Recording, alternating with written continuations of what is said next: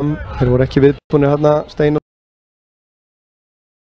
og Bjarki. Eh, Emil fleitir þessu hérna eru Þetta er þróttar að hættulegt. sleppa í gegn. Jasper komin einn á móti Átna og liftir yfir hann og í markið. Hvað segirðu? Jasper, Jasper, van der Heiden hann er búinn að vera ansi ógnandi hér allan leikinn og hér skilar að marki.